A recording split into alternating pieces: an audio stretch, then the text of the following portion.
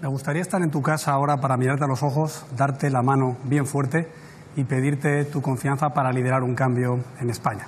Quiero ser el presidente que está a tu lado, que te sea útil, que te acompañe para resolver tus preocupaciones porque también son las mías. Quiero liderar un gobierno de verdad, que no le tiemble el pulso frente a los separatistas y que no le tiemblen las piernas para resolver la crisis económica y social que siempre nos deja la izquierda. Un gobierno que proteja a los mayores para que tengan su tranquilidad con una pensión garantizada. Un gobierno que impulse a los jóvenes para que puedan conquistar sus sueños, pero con un empleo de calidad.